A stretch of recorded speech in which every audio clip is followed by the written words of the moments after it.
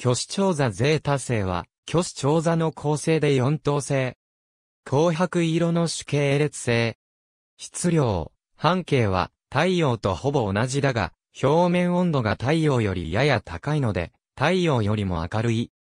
ヒッパルコスによる示唆の測定から、距離は精度よく求まっており、地球からの距離は約28.0光年である。金属量は太陽より少なく、太陽のおよそ7割程度だが、それ以外の性質はよく似ており、年齢も約38億歳と推定され、太陽と大きな違いはない。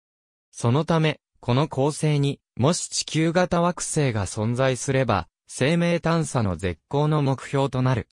巨子調座ゼータ星は、オーグマザ運動星団に属している。これは、宇宙空間で、同じ運動を持つ構成の緩い集まりである。運動速度は、u イコールマイナス60、v イコールマイナス4、w イコール秒速 38km である。これらはそれぞれ、銀河中心への運動速度、銀河の自転方向の運動速度、銀河の北極方向への運動速度に対応する。銀河核から平均8400パーセクの位置を、軌道離心率0.16で公転している。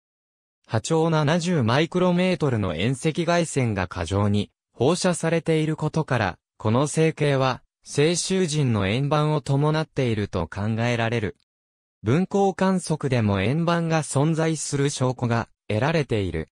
円盤は半径が少なくとも 2.3au で恒星の周囲を公転しており、温度は最高で 218K と推定される。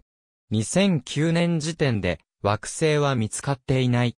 視線速度の変化の観測からは、少なくとも木星サイズの惑星の存在は否定される。ありがとうございます。